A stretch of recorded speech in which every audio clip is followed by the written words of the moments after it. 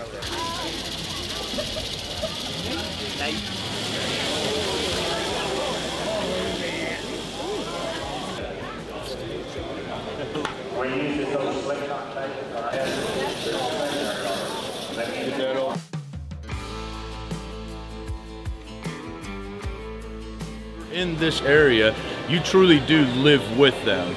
It doesn't matter if you're in a big city or small community, eventually you may come across with one of these creatures. And our overall message is what to do whenever you encounter one.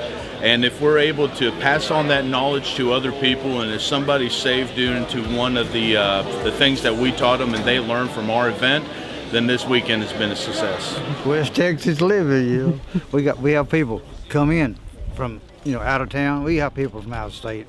We we got a, a what we call our, our rattlesnake family. You know, people coming in and they come they keep coming back every year. Our, our family just keeps getting bigger and bigger.